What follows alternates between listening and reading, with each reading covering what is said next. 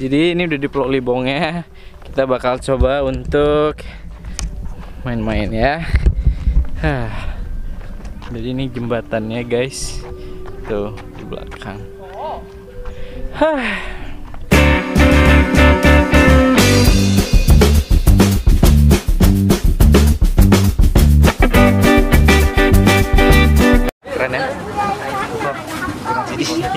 Jadi ini kita lagi di salah satu tempat apa nih? Apa nih? Apa nih? nih? Ah, ini lagi di mangrove. Sebenarnya mangrove itu keren banget, tapi ini bagian salah satu ujungnya aja. Jadi kita bakal coba.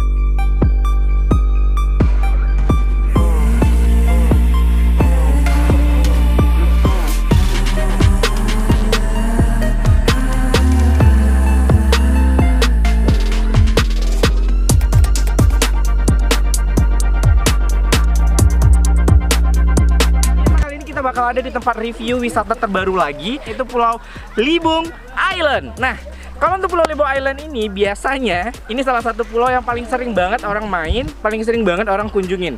Karena katanya kalau misalnya kalian nggak kemari, katanya nggak afdol. Jadi wajib ya ke Pulau Libung. Tapi ada satu hal nih yang harus aku kasih tahu ke kalian ya. Kalau Pulau Libung ini termasuk salah satu tempat wisata yang paling utama, yang paling disering kunjungin beberapa artis Indonesia dan lain sebagainya. Agak ngap ya, Pak. Jadi untuk reservasi di di island private ini kalian bisa nanti kunjungin kontaknya. Nanti aku bakal kasih informasi juga di bawah deskripsi.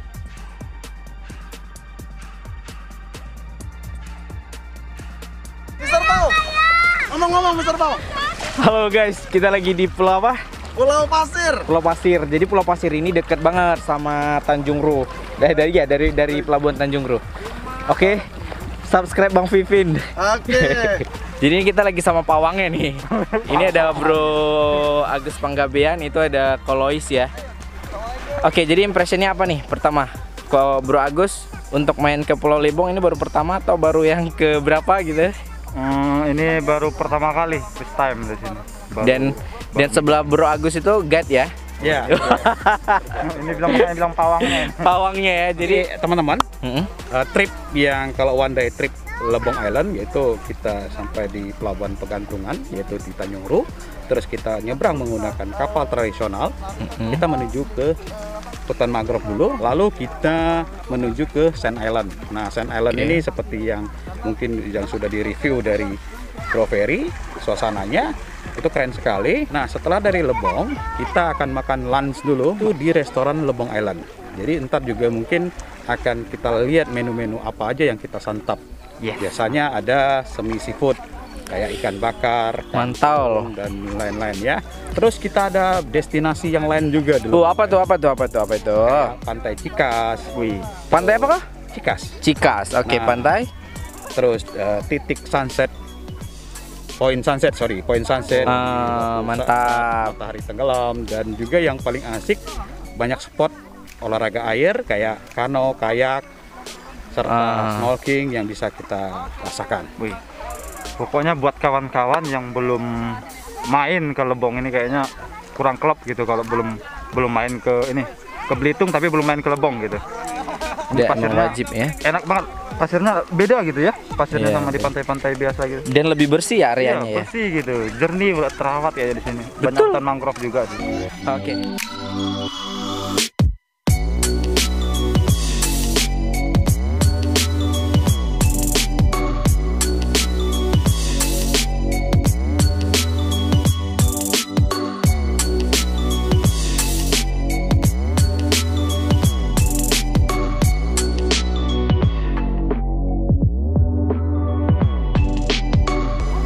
kami konten pertanian.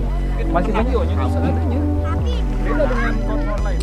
Oke, jadi ini kita udah di tempat pelabuhannya tadi itu di belakang.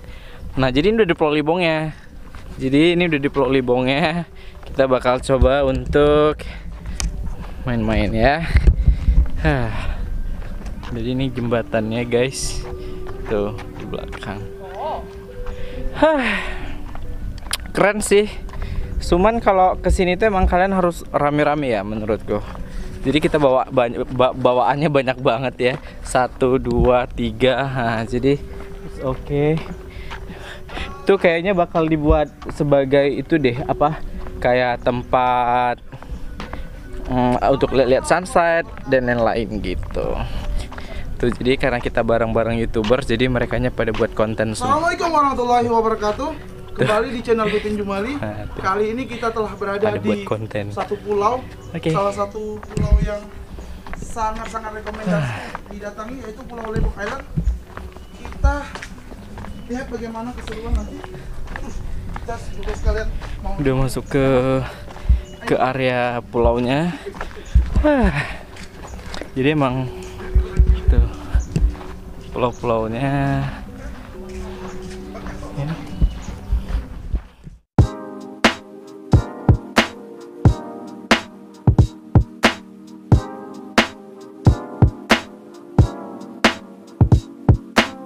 macam keripik lacuba. Nyaman. mau beli lacuba di mana Beli di website www.lacubabelitung.com guys. Oke, jadi kalau di Pulau Libong ini seperti biasa ya untuk fasilitas dia selain ada mainan dan apa semuanya, dia juga ada penginapannya guys. Oke, jadi tuh kayak bungalow-bungalonya gitu. Jadi bungalonya itu tepat banget di depan pantai. Jadi misalnya kalian nginep langsung dapat pantai.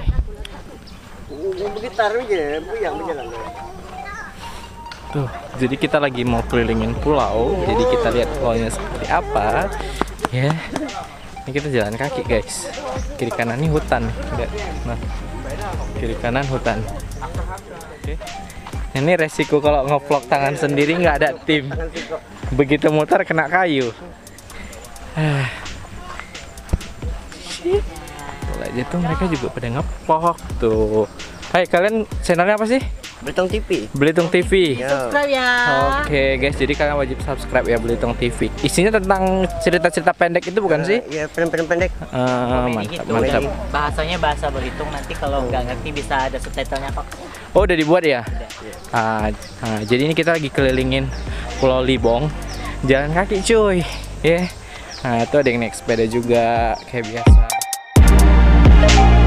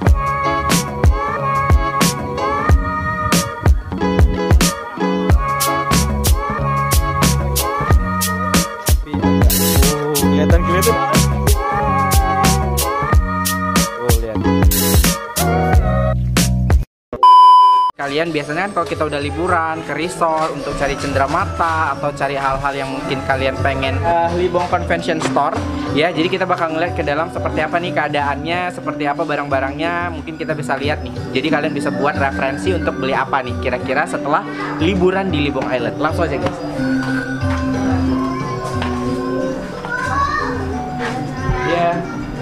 Oke, jadi seperti biasa ya. Aku tuh kalau udah liburan untuk cari barang-barang yang ya apa adanya gitu kan. Jadi kita di sini tuh ada semua. Jadi ada baju dan lain-lain. Oke, mungkin kita bisa lihat ke sini dulu. Jadi untuk eh, baju-baju ya kayak biasa sih guys. Jadi untuk baju dia ada semua ya. Untuk busananya, istilahnya kayak butik lah ya. Mungkin kalau kalian yang wanita tuh udah tersedia. Jadi ada baju wanitanya, baju prianya. Dan untuk untuk bahan sih ini untuk di area store kayak gini tuh udah termasuk bagus banget ya menurut aku. Dan mungkin kalian bisa untuk size-nya ada ya. Kalau aku lihat dari dari segi susunannya mungkin ada size ukuran ya. Jadi ada S, M, L dan lain kalian bisa langsung tanyakan ke Mbak yang jaga store ya. Oke, jadi selain itu ada topi juga. Terus ada busana baju-baju, kemeja, baju pantai. Mungkin kalau kalian lagi uh, photoshoot, mungkin busananya lagi kurang, kalian bisa prepare di sini. Dan untuk kaos-kaosnya juga ya. Jadi emang ada yang kaos libong, ada yang seperti inilah ya. Jadi at least semua cenderamata yang di sini berbau libong. Jadi ini menandakan kalau kalian udah main ke Pulau Libong, jadi setidaknya kalian harus beli beberapa salah satu cenderamata dari store Libong bahwasanya kalian udah main ke Pulau Libong. Oke deh guys, sampai di sini dulu untuk review store di Libong Island. Semoga kalian bisa eh, untuk menonton videonya sampai habis dan bisa membawa manfaat baik buat kalian.